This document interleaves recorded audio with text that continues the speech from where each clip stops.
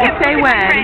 Think, um, Hi, no, this is Daun, and this is Patricia Tarasovic, and Kat is our co-chair of the campaign. And what are you doing today, ladies? oh, I'm terrified.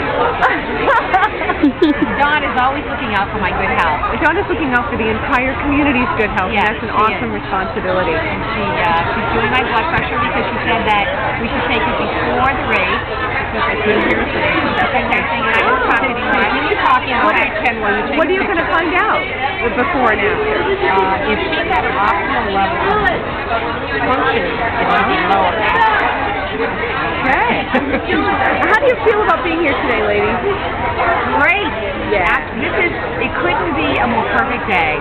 And so many people are here, and 500 runners. It's going to be spectacular. It is. And it's just such a spirit of community. Again, you know, which the Valley has, and it's wonderful. You know, we know, John and I were actually part of the All-American Cities back in Yeah. 1999 in the Valley, mighty, mighty Valley.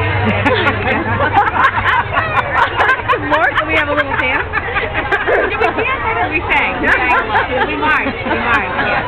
So. Well, thank you both, ladies.